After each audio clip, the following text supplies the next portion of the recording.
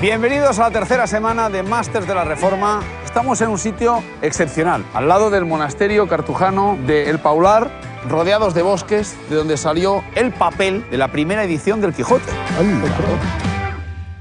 Como sabéis, el camino es largo hasta la final, pero lo que no sabíais es que vosotros vais a tener que construir ese camino. Y lo vamos a hacer a la antigua usanza, con adoquines de piedra.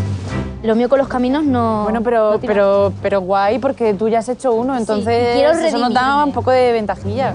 Primero lo que deberéis hacer es eh, llenar vuestros cajones de arena, extender bien la base y dar el grosor adecuado.